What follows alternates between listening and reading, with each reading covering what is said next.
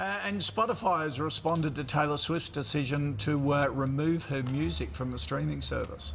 Very interesting. Yeah, the CEO of Spotify put out a very lengthy statement uh, basically defending himself, saying that he's paid out over $2 billion to music labels, publishers, and recording artists, and that Taylor herself was on track to make $6 million a year uh, from her music on Spotify. But then again, you have to kind of compare that to the fact that she's making 12 million a week off of her newest album. So uh, I guess you weigh with the, the pros with the cons.